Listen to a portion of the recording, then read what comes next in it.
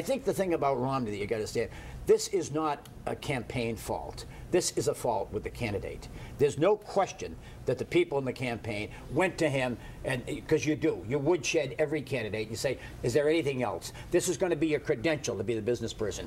All right, what about your taxes? He has avoided this. He sounds marble-mouthed. He sounds unsure. He sounds absolutely unconvincing. And the questions about the man's genuineness just absolutely compounded by his mishandling of this issue. And it's such an easy one, Charles, in advance of the campaign, it seems to me.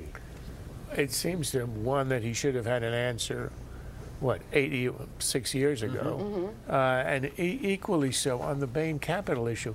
He was attacked by um, Ted Kennedy on Bain Capital 16, 18 years ago. And he still can't put in three sentences a concise explanation of how private equity, in the end, helps the American economy and helps the worker. All he has to do is to draw an analogy with, with what the president and the, the, the Democrats have done with the auto companies, and to say in order to save them, they had to shed a lot of jobs, shut down a lot of plants, close a lot of dealerships, it caused a huge amount of pain. However, it saved the companies, and in the end, it grew. He did that essentially with private risk c- capital. Obama used taxpayer treasury money. But why he can't articulate that after all these years is a mystery to me. Yeah.